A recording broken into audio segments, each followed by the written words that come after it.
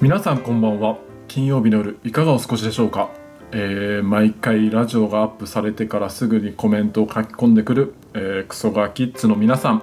えー、今回もちゃんと内容を把握しないで書いていますか、えー、ボケたりしないで真面目にって言ったのに案の定クソつまらないボケをかましてきてね採用されませんよ。ね。あと年齢かけてでも書かないクソガキッズもちゃんと聞かずにこれコメントしてるかな？ね？今回もラジオネームだけになっちゃうのかな？固定のとこにあとね返信しろって書いてあるんだからちゃんとねあの聞いてくれてる人たちはこのラジオはまずそこを把握できていない。バカタレどものコメント欄を見て楽しみ、えー、そしてこのラジオ普通に聞いて、えー、2回楽しんでくれたら、えー、嬉しいです。ということで、えーと、ラジオのお話なんですけど、えー、早いものでも5回目をやらせてもらってるんですけど、えーまあ、第1回から第4回まで徐々に徐々に再生数が、まあ、少なくなってってるんだけどまあそれはどうしてもしょうがないのかなっていう部分はあるけどやっぱり長いし、まあ、そもそも誰のラジオでも聞かない、まあ、関谷のラジオ聞かないっていう人も、まあ、いるだろうけどまあそれでもだってもう第1回目のラジオは1万回超えてるからね再生数。いやそれはうんよく言ったなって俺下手したらもっと少ないんじゃないのかなって思ってたから。うんまあ今後少ないけどなんだろう徐々に徐々にあのー、長い目で見てちょっとずつ増えていけばいいのかなってまあ早朝の他の動画ももしかしたらそういう感じなのかもしんないけどうん、ラジオもそういう感じで、まあ、すぐになんだろう初動の再生数は少なくても徐々に、まあ、時間ある時とかに聞いてもらってでそれが再生数ゆくゆくは、まあ、全部1万回ぐらいは超えてほしいな。登録者が今18万人ぐらいいてそうだねだから18分の1ぐらいの人に聞いてもらえたらまあいい方なのかなって思います。多分ラジオって1回聞いたらもう2回は繰り返しとか聞いたりとかしないだろうから、まあ、単純計算で1万人の人に聞いてもらえてるって考えたらまあ、うん、すごいけどね。だって芸能人の他のラジオでよくなんか YouTube 上に上がってるのとか見るとまあ下手したら1万回超えてないとかも全然あるからね。まあそれはもちろん大物の芸人さんのだったりとかすごい人気のラジオとかも何十万回とか多分言ってるけど、うん、そういう風に考えたら、まあ、まあやるからには再生数とか言ってほしいしいろんな人に早朝知ってるいろんな人に聞いてほしいっていうのはあるけどまあ、うん、決して悪くはないのかなっていう風には思ってます。うーんそうだねまあいろいろ試行錯誤しながら頑張っていきます。ね、そんなオープニングトークをしたところで、えー、今週も行きましょう早朝シューティング部関谷の花の金曜日第5回始まりました。9月14日花の金曜日。略してもっと声出せる。うん。聞いてるの多分金曜日の深夜かもしんないけどもうちょい声出せる。もっと来いよ。いくよ。花の金曜日。略してまあもっといけると思うけど、うん、よしとしよう。でこのアーティストのライブの煽り感をちょっとねやってみたかったっていう。ちなみに今自宅で一人撮ってるんで、えー、すごいテンションの持ちようがわからないです。えー、ということで、えー、このラジオではラジオ大好きシェキアが YouTube で生放送ではなくてもラジオっぽいことができないのかそんな思いから始まり動画のことはもちろん世間話や視聴者参加企画早朝との癒着がある曲などを流し紹介していきたいと思っておりますまた時々ゲストを呼んで楽しい時間を皆さんと一緒に過ごせたらと考えておりますえー、今回はゲストがいないなし会なんですけども、えー、次回のゲストをちょっと早めに告知したいと思います。というのもですね、えー、そう次回のゲストがなんと複数人いるので、まあ普段だったら終わりの方とかにあの次回のはどうなるよとか言ってるんだけど、えー、早めに告知という感じでお知らせしたいと思います。え、まずは1人目。えー 関谷と犬猿の中と言われている早朝シューティング部のドン、えー、ジジコとアウディさん。イエーイ。ねまあアウディさんだけだったら普通のラジオの回と変わんないでまあ一人のゲストであれなんじゃないって感じなんだろうけどこっからがすごいのすごいのよ。えーなんと、えー先日行われた第2回ウームゴルフコンペで見事優勝されました、えー YouTube チャンネルゴルフ我流道よりブーさんそしてコンさんをお招きして次回の花の金曜日をお送りしていきます。すごいよなんとラジオでは初の他チャンネルさんとのコラボということで。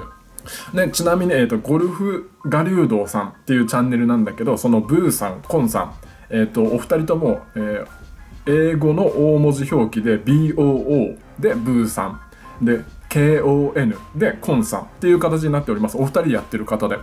でね我流道さんの動画は、えーアウディさんが何回か出ているっていうのもあって知っているのですがもちろん、えー、関谷はお会いしたことがないので、えー今回は嫌々ですが本当ね本当にもう嫌で嫌でしょうがないけどしょう仕方なく、えー、GG も読んで、えーお送りしていこうという感じです次回ですよ次回。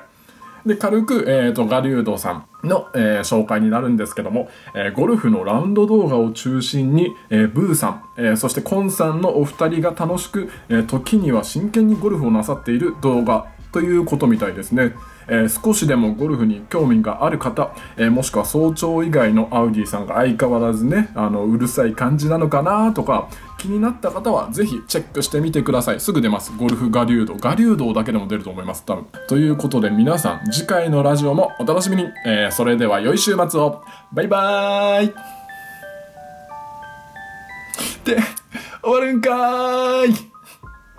終わらないよ。終わってたまるかこんな5分10分こんな短い時間で。ちなみにね、えーこれも一人だからすげえ今ね終わるんかいの時ちょっと恥ずかしさがあった。やっぱ酒ちょっと引っ掛けてやるのがいいのかもねもしかしたら。えー、ねまあしょうもない嘘は置いといて、えーラジオを続けていきます。えーじゃあいつも通り、えーまずは初めに先週じゃないよ今週だよ。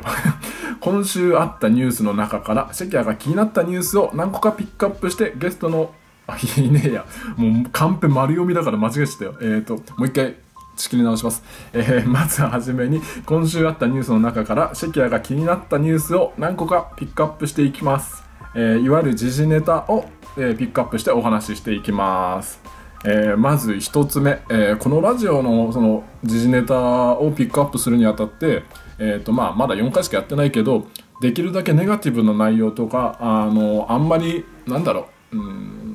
良くないことを題材にはしたくないなと思ったんだけどどうしてもやっぱり今週は、えー、とまず一つ目になっちゃうんだけど、えー台風でそれからの、えー、と北海道の地震のことをちょっと一つ話していきたいと思います。でその次に、えー、と昨日行われましたサッカー日本代表コスタリカ戦のことの2つを話していきたいと思います。えーでまず1つ目から、えーまずじゃあ台風だね。えー台風先先週の放送かラジオで、えー大ちゃんと台風21号来てなんか歴代最強？とか風がすごいらしいよ？とかって言ったけど、うん。本当にねすごいことになっちゃったね。直撃っていうかもろに被害を受けたのは、えー関西。で特に、えー、と空港だよね。あのテレビのニュースでもよくやってた、あのー空港までの連絡橋のところにまあ船。まあ本当ミニタンカーみたいな感じのね形状の船がぶつかっちゃってえー、っと多分今もその道路とか封鎖されてるのかな？よく分かってないけどその道路、えー、と線路道路っていう挟まってる感じでで空港までに行く手段が多分そこの道を通んなきゃいけないよみたいな感じであの海の上にあるから。そうだからそこがもう打撃受けちゃったからもうその当時空港にいた何千人って方はもう空港から出ることもできないしまあそのねあの地上からっていうか車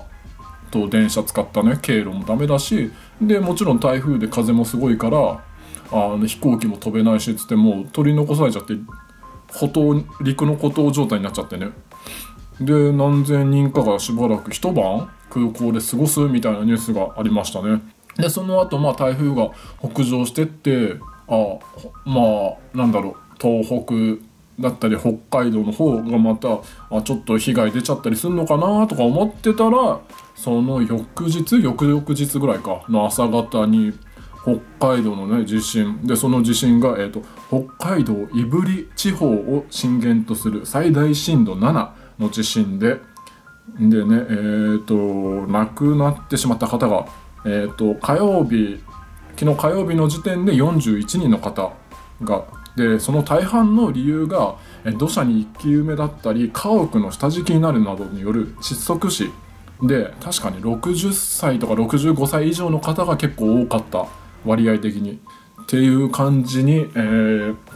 なってるみたいです。もう驚きました。まず最初に驚いたのがあれだな。山肌ヘリコプターからの絵で山肌がもう何て言うんだろう土砂崩れで土がほとんど見えちゃってるみたいな。しかも1箇所じゃなくてその一帯の山何箇所もってなってるからこれ結構すごいことになってるしなんだろう言い方悪くなっちゃうかもしれないけどあ多分死者の方とかも出ちゃうんだろうなって思いました。いやそんぐらいなんだろうショッキングだったしあすげえやべえって思うような映像でした。でねあとまあその地震の影響であの全電力発電所だったりまあそういうところがストップしてしまって、えっと、北海道全域だよね多分一時的には。全域が、えっと、停電ということで。まあもう今、えっと、今日は水曜日なんですけど今、えー、と復旧されてるってことだけどでもまあ今節電とかね計画停あの停電だっけ？なんだっけ？合ってるかな？わかんないけど。がねやらやるっていうことで復旧までにだって1週間ぐらい目処必要とかね言ってたもんね。ねいやだからびっくりでしたまあこっちの関東の方は揺れなかったんだけどまあ朝方だから気づかなかったのかなわかんないけどねほとんど揺れは来なかったんだけどねいや最近だから日本でまあ今年に限っては広島の土砂崩れもあったしあとね、まあ、今回のその大阪の空港とか、まあ、台風の被害もそうだし北海道、まあ、台風の被害も結構すごかったね。人が飛ばされてたりとかピザの配達の兄ちゃんがバイクごと飛ばされちゃってる映像とかあと橋の上でなんかトラックだったり軽自動車がもうおもちゃみたいというかなんかねおもちゃのミニカーみたいにコロンコロン転がってる映像とかね。もうそれもすごかったけど。とかまあねここのとこ最近立て続けにあの日本でなんかいろんなことが起きてるけど、うん、そういうニュース見るとまあ自分が住んでるのは関東の埼玉だからあんまりそういうのってないけどやっぱ地方に住む人たちは、うん、怖いだろうし今後いつ自分の家がそういう災害とかでなくなっちゃう可能性もあるわけじゃない？なんかこういうの見てると。だから怖いだろうなって思うし、うん、住む場所も考えなきゃいけないのかなってなってくるよねきっと。まあもちろん親とか先祖代々受け継いでその土地に生まれ育った人とかはもちろんその土地に住むってやっぱなるけどさ、うん、それでもやっぱそんだけ災害が多くなっちゃうとちょっとなーっていう風になってくんだろうなと思って。だしまあ自分が住んでる埼玉でも例えば台風とかだったりがもろに直撃とかあとはまあ地震でとかね。で家や家屋が崩壊してとかになったらまあうんありえる話だからね全然だから首都圏とかその関東とかになったらどうなっちゃうんだろうなかなっていう怖さはありました見ててニュースの。ね一事じゃないし例えばだけど1週間分の食料とかなんかそういうのはちょっと備蓄しとかなきゃいけないのかなってまあ前々からねすごい言われてたけどあの東日本大震災の時からとかもそうだしもっと昔からでもいつも常に言われてることだけど改めてそういうニュース見てそういう風にしなきゃいけないのかなってちょっと思うような、えー出来事でした、えーじゃあ次ちょっと明るい話題いきましょう、えサッカー日本代表、え新生サッカー日本代表、えーと森保ジャパンが、えー昨日火曜日コスタリカに3対0で勝利しました。えーでもちろんシェキアはサッカー好きなんでバスケ行かないで見てました。生で。生でっていうかテレビでだけど。リアルタイムで見てました。いやほぼほぼ新しいチームで、えー前回のワールドカップロシアワールドカップのメンバーが4人しかいなかったということで、まあ、出てるメンバーだったら多分キーパーの東口選手と牧野選手。まあでもその2人も多分東口選手は一緒に出るのかな。牧野選手あれだよねポーランド戦に出てたし。っていうことでまあほぼほぼ新しいメンバーっていう感じだけどいやもう本当に若い力が台頭してきた試合っていう感じだったねもう見ててイケイケだったね。ねまあ、前回のワールドカップ直前であのハリル・ホジッチ監督が更迭あのされて、まあ、西野監督になって準備期間が少ないし、まあまあもともとハリル・ホジッチ監督がそんないろいろ選手を試すタイプじゃなかったっていうのもあるけど、うん、それで、うん、なんだろうワールドカップは結構年齢ベテラン年齢が上の方の選手が揃って若手はあんまりなかった普通結構強い国とかだとあの国のそのサッカーの基盤が結構ある程度出来上がってるから次回のワールドカップとか次の世代も見据えて、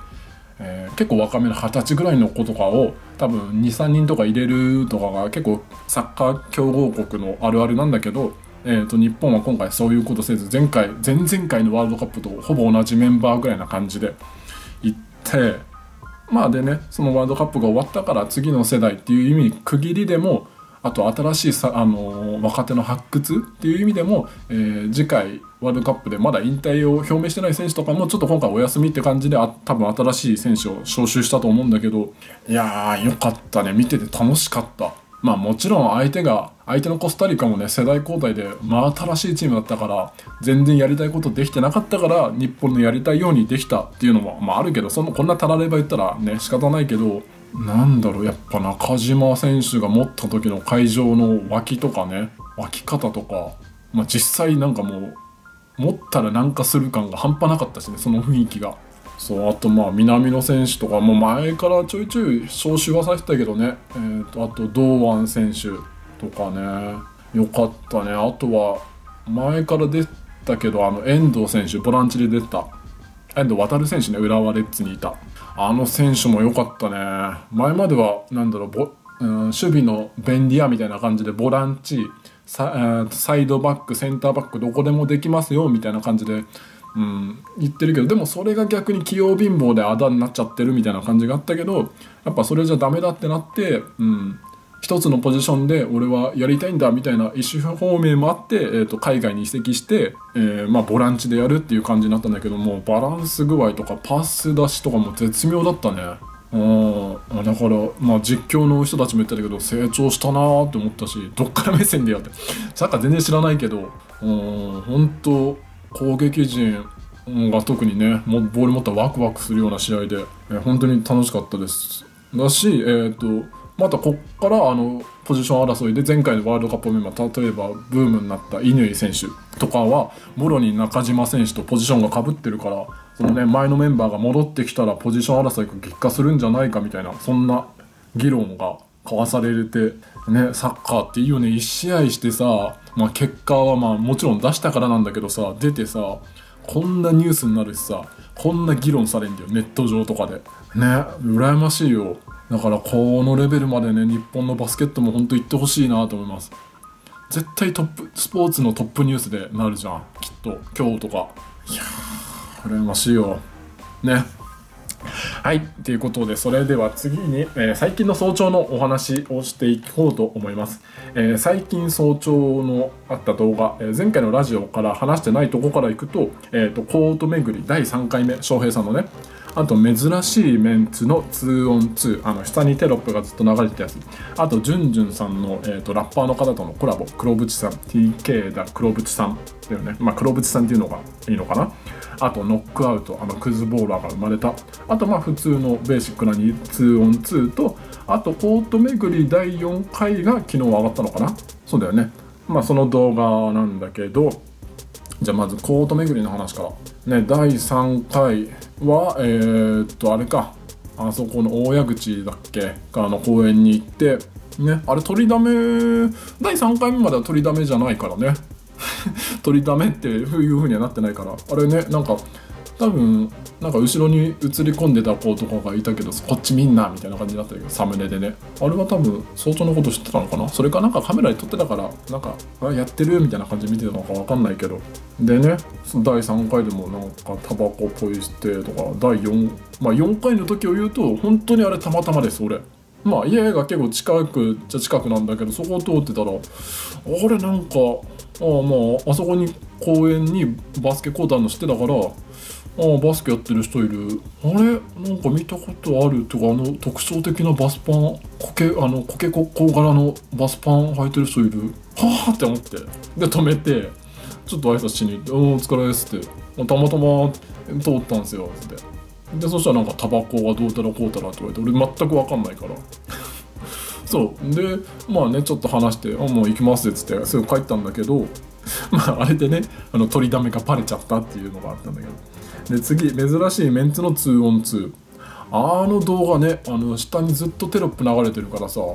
あれは作戦なのかねじゅんじゅんさんの。とりあえず 2on2 の内容を見てもらってテロップ無視だよ。で、えーと、次にテロップ見てもらうっていう感じになれば、えーと、2回見てもらえることになるから再生数稼げるのかなっていう作戦なのかなと思って、まあ、そこまで考えてないか。でも実際俺は2回見ちゃいました。で次ちょっとコラボのやつ置いといてノックアウト。安定のね。あのみんなでわちゃわちゃ楽しそうにしてて。えー、っと誰が勝つんだ誰が勝つんだとかなってきたらねあの最後の方にあの最低クズボーラーがね案の定生まれまして。あれね面白い。地味に面白いね。てかやってる側もすごい面白い。ああいうゲームは。でまあベーシックな 2on2 えー、シェキやシュラミさんチーム対、えー、ジュンジュンさん翔平さんのチームのね 2on2 とかだったり。ねそう最近そうだ。2on2 とか 1on1 の早朝のね動画見てて思ったのはやっぱ昔に比べてもうんバチバチ感がちょっとなくなってきてなあなあになってきてるのかなっていうのは感じます、うん、客観的に見てねいやなんか昔はもっと、うん、勝とうとしてる感じっていうかもっとバチバチ感があったんだけど今ちょっとまあまあこんだけもう何年も同じことやってればなあなあになっちゃうのもしょうがないんだろうけどあと夏の暑さとか朝の速さとかもちろんね、まあ、そんな言い訳になんないんだけどでもやっぱちょっとそういうのあったりするとだれちゃうのはわかるけどあやっぱもっとバチバチでやった方が面白い見る側も面白いと思うんだよね。でそれで思ったのはああの早朝メンバーガチンコのワンオンワントーナメント、まあ、その辺りでもいいけど誰が一番ワンワン強いのかっ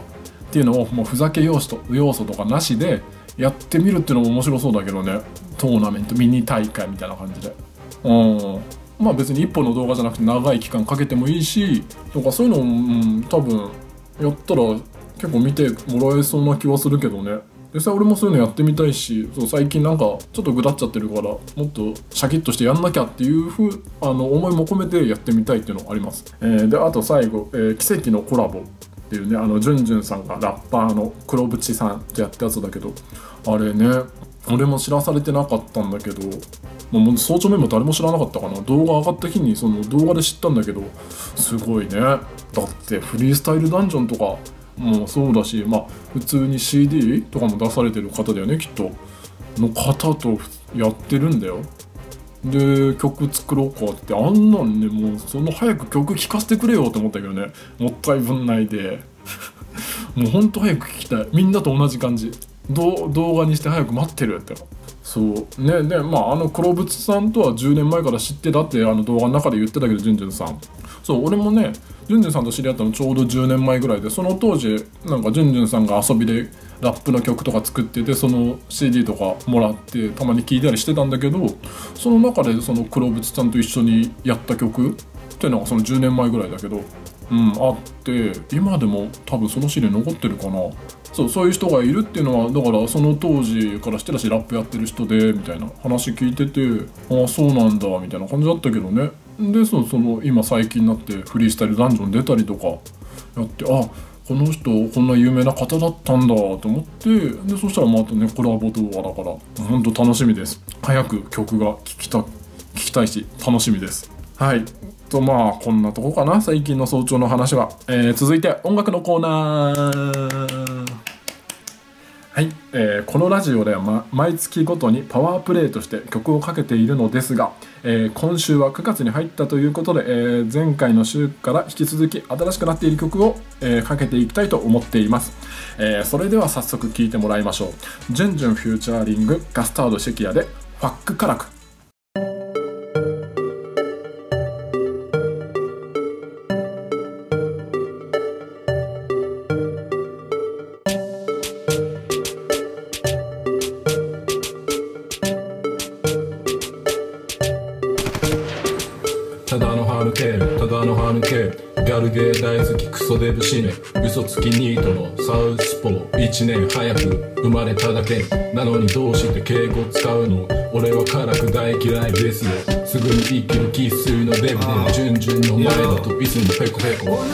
だけど俺に敬語使って話せからく。お前の話聞いてる暇あるならやるぜつむつむ。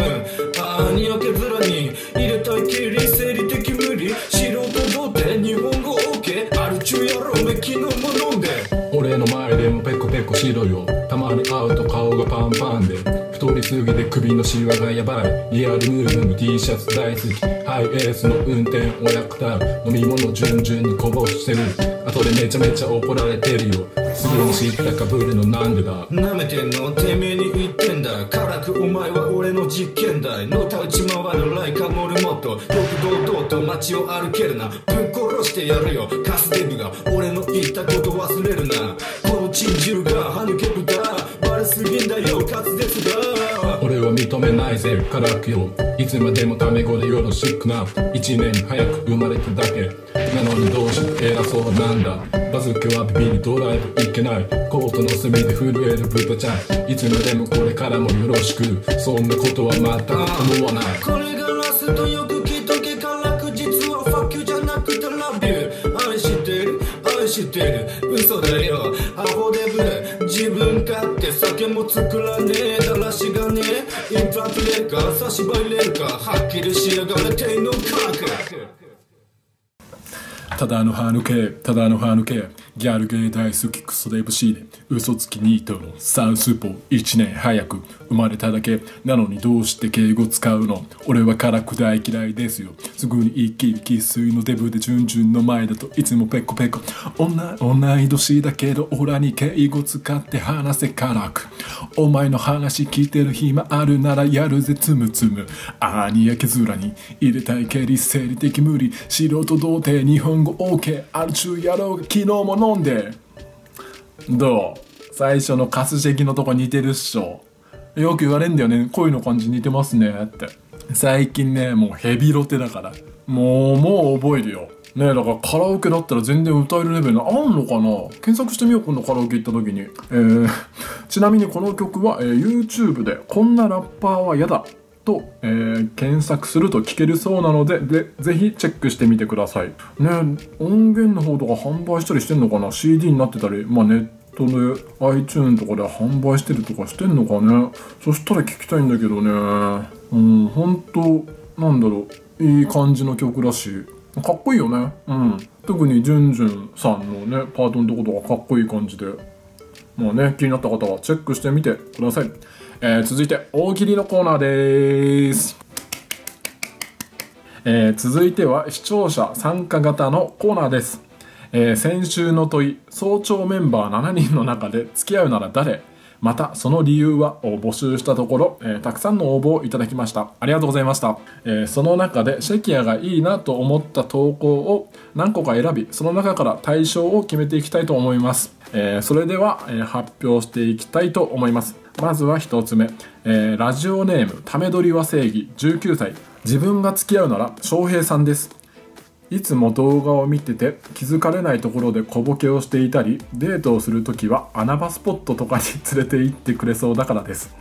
あとは優しさが動画でも伝わってくるからです。まあ確かに小ボケとか結構意外とねやってるのはあるけど穴場スポット知ってんのかな？そういうバスケのことならいろいろ知ってんだけどな。そういうとこなんかあんま頓着なさそうだからな。まあでも、うん、本当にねあの言ったように前回のあの本当にね真剣な理由ガチな理由って感じでねみんな選んでくれたんでこれを選びました、えー続きましてラジオネーム「君とサプライズ学園」24歳、えー付き合うなら絶対大ちゃんさんで理由は消去法です。だけ。もうちょい説明してほしかったな。いやそのさ消去法っていうのはまあまあいいけどどういう消去法で大ちゃんが残ってったのかがね気になるよね。消去法で大ちゃんが残るんだ。残るか？いややべディスになっちゃう。いやもちろんね大ちゃんいいいい男だよ。うん。かっこいいよ。優しいし筋肉あるし。なんかボケちゃってな俺が一番。いや別に全然ありいいと思うけどなんだろう。どういう消去法なのダメだ。結局ディスちょっとディスんだ言えば言うほどディスになっちゃう。大ちゃんもねラジオ結構聞いてくれてみたいだけど。大ちゃんね怒んないでね。はい、えー続きましてラジオネームスキピ41歳えー、しみちゃん。性欲が強そう。これはまず、まあ、ボケないでってたから多分ほん本当にね下ネタに走ったわけじゃなくて単純に本当に性欲が強そうって思ってそれがなんだろういいポイントだと思ったんだろうね。あのこのスキピさんにとってはそこの部分がすごいキュンとしたんだろうね。性欲が強そうっていうのが。はい次行きましょう、えーラジオネーム松ぼっくり斎藤19歳、えーキムさん。バスケだけではなくディズニーランドに連れてってくれそう。に過去2013年を振り返って。あとは身長高くて一緒にいて楽しそうだからです。いやいいね。こういう本当にベーシックな理由が一番いい。ねあのキムさん2013年を振り返ってっていう早朝の動画があるんだけどその中で確かねディズニーランドが好きとかなんかそういう系のを確か言ってた気がするんだよね。まあ実際あのキムさんディズニー好きみたいだしね。あんななりっていうかあんなでけえ体してあんなアフロで。やっぱりディスディスしか出てこねえな早朝メンバーのこのと。はい、えー続きましてラジオネームカレーパン18歳、えー、シェキヤさん、えー理由なぜか一番つぼります。とにかくつぼる。ただそれだけです。お気に入りのギャグはシュナイダー鈴木役の時の「ジュンジュンに60セント」です。まずね、うんまあ、シキヤさんを選んでくれたことはありがとう。本当にね。あの嬉しいです。ただ、えーお気に入りのギャグはシュナイダー鈴木役の時。違うんだって。よく間違われるけどシュナイダー鈴木っていうなんか俺にすごい似てる方がいてで、まあ、シェキアもいるって感じだから。うん。別に同一人物じゃないです。そこだけ間違えないでください。あのギャグはね順々に60セント。なんか違うなあの動画の感じと。まあ本人じゃないから違うんだけどね、えー続きましてラジオネームザンビートカルジギー。あれだなあの動画から撮ったなきっと。えー14歳、えー、しみさんです、えー自分が女だった時自分が恋の集中が切れててもゴリゴリアタックしてくれそうだからです。えーヒカキン、あ、ヒカキンじゃねえや、間違ってた、自分のラジオ。花金の最後に、リラードじゃんけんかゴールドじゃんけんやってほしいです。ねいや本当これもね、自分が女だったっていうのに置き換えて考えてくれたっていうのでね、よかった、これも。続きまして、またちょっと長いのを見つけちゃったなまあでもしょうがない、読むか。えー、長くなるんでちょっと聞いてください。ラジオネーム、すっぽんぽんスポポビッチ19歳。前もいたな確かこんな名前、えー自分が女性だった場合私が一番早朝メンバーで付き合いたいのはジュンジュンさんです。理由はたくさんありますがやはり一番の理由はギャップです。いつもふざけておらおちゃらけて見えるけど実はしっかり者であるというギャップに一発で落とされると思います。私が早朝の動画を見出したのは中学だった4年前ぐらいでそれ以前から長い間早朝をリーダーとして引っ張り支え続けたジュンジュンさんは本気で尊敬してしまいます。YouTube が動画サイトの主流ではなかった結成当初からコツコツと登録者も伸び早朝が増えてきた現状を一番支えたのはやはり紛れもなくリーダーであるジュンジュンさんだと思います。だからこそ普段のおちゃらけて楽しいジュンジュンさんを本気で好きになれると思います。あと顔もめちゃめちゃイケメンで女だったら多分タイプです。いや長々とありがとう。本当に多分ね好きだし恋しちゃってんだろうね。きっとすっぽんぽんスポポビッチは男の子だろうけどね。いやよかった長くて。はい、えー続きまして白昼トラベリング部28歳。この方も選んだことあるかな、えー前あそうだよね。前々回は大賞ありがとうございます、えー私はジュンジュンさんです。初めて早朝シューティング部の動画を見た時に一目惚れしてしました。かっこ笑い多分ねこの方は多分だけど女性なのかな？私はって書いてるから。であの本当理由もシンプルにねあの相当の動画見た時一目惚れっていうことでまあまあガチ感だし女性のあのリアルな意見っていうのも生々しい感じだったんでちょっと選ばさせていただきました、えー続きましてラジオネーム布団かぶりながら見てる人20歳、えーアウディさん。一緒にお酒を飲んだら楽しそうだからです。PS 前回は19歳ですがでしたが誕生日を迎え20歳になりました、えーおめでとうね。お酒は二十歳からだからね。えーちなみにですがアウディさんは、えーお酒、えジョッキ1杯でもうベロンベロンになって下手したらそれでダウンしてしまいます。なので短時間勝負です。アウディさんと楽しむには。というわけで、えー何個か選びましたが、えーこの中から対象をじゃあ決めていきたいと思います。どうしよっかな。まあ今回はねバランスよく早朝メンバーそれぞれをちょっとあの1人1個ぐらいは選ぼうかなと思って7人分のを選んだんだけど、えーじゃあね対象はこの方、えーラジオネームザンビートカルジギ14歳。おめでとう。しみさん選んだ方ね。あのゴリゴリアタックしてくれそうだからですってやつ。はい。じゃあこの方を対象とさせていただきました。